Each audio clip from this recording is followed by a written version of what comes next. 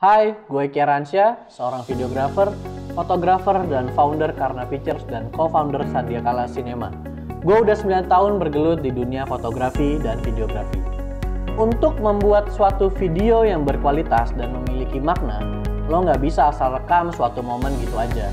Teknik dasar yang digunakan dan konsep video bakal nunjukin sejauh mana kreativitas lo.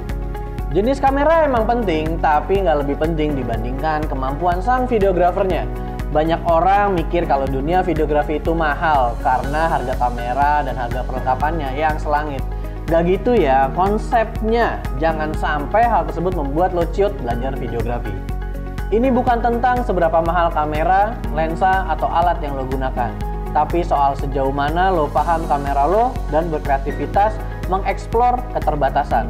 Bisa aja dulu soal urusan punya kamera, bisa belakangan. Melalui kelas online gue ini, lo bakal gue ajak mengenal dunia videografi. Kita belajar soal pentingnya teknik dasar video kayak angle dan kamera movement, mengembangkan konsep video ke dalam storyboard atau storyline.